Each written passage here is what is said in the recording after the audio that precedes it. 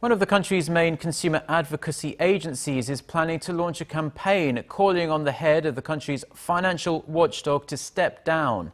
The move comes amid mounting criticism of the Financial Supervisory Service for failing to respond to investors that have suffered losses from the debt-ridden Tongyang Group. Yulian reports. The Financial Consumer Agency has been growing increasingly frustrated with the lack of action from the country's financial watchdog in dealing with the massive losses incurred by the tens of thousands of people who invested in the cash-strapped Tongyang Group.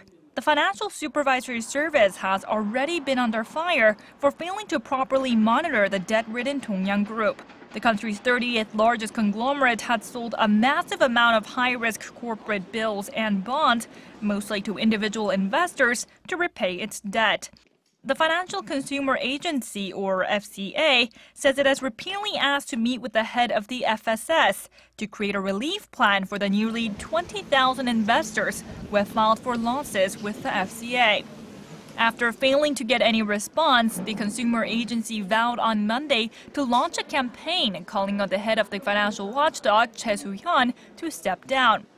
The Financial Supervisory Service maintains that it is doing all it can to deal with the Tongyang crisis.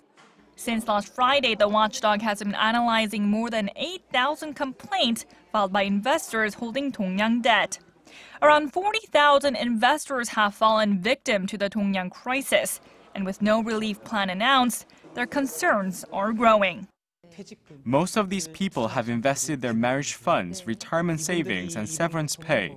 It's hard to even imagine the pain that these people are going through. One widowed investor has even lost all of her former husband's insurance money. Tongyang Group owes retail investors 2 trillion won, or roughly 1.8 billion US dollars, and about 840,000 US dollars to financial firms as of the end of last month. Yurian, Arirang News.